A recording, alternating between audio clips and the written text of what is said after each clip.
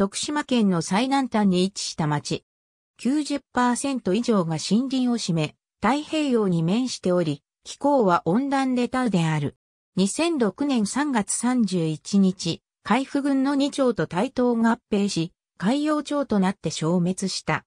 獅子食いは足食いの天下とされる。足食いは足を作って主食とした住民。李中天皇の時代に大和朝廷から和紙重王がこの地に使わされ、獅子食い川下流の平信を利用した農耕が近隣地域に先立って発達したことによる。時代とともに狩猟にまつわる肉が使われるようになり、鎌倉時代以降は獅子食と呼ばれるようになった。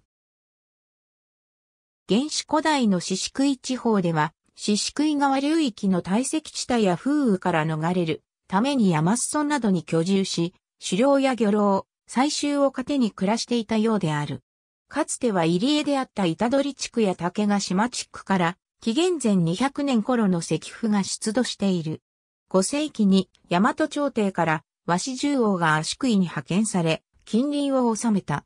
この頃に稲作が伝わり、現在の久保西、聖火寺、長谷場地区などに集落を形成していった。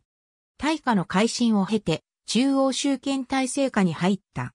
軍憲制が敷かれ、足食いの地話を、獅子食い省、海部号に分かれた。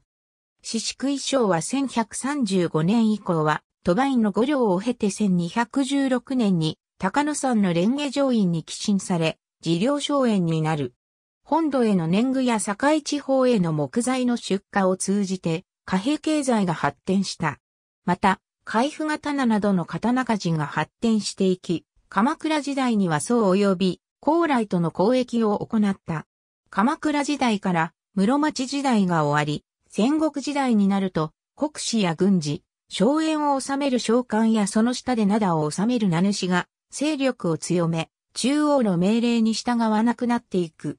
四宿一地方では、和紙重王を祖とし、藤原姓を名乗る一族が、四宿以上、愛宕山城、祇園山城などを築き、この地方を治めた。また、近隣の麦城、浅川城、野根城主とは同族で、高知県の秋市とも隕石関係を結んで地盤を固めていた。1578年と鎖国を平定した長祖壁氏に侵攻され、城はことごとく落城する。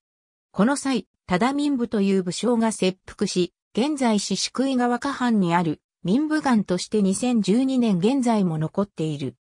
豊臣秀吉を主とする四国征伐が行われ、武将である八須賀氏が阿波国を治めるようになりその統治下に入る。徳島反省下では日和佐、後に海部に軍大官所が置かれ、四宿井では各村の将野と役人が年貢の徴収や生に当たった。本町は土佐国との国境にあるため、国境警備目的の関所や鉄砲薬を置いた鉄砲小屋、野呂次第、街道沿いの治安維持と旅人の宿泊施設として駅路寺が置かれた。また、各地では1582年の対抗検地をはじめ、検地、戸籍調査が行われ、租税が徴収された。慶長の神事を、法営の神事を、そして安政の神事をの震災を通じ、農民は、調査が起こるほど急防することもあった。高等学校、編集中学校、編集小学校、編集高速道路、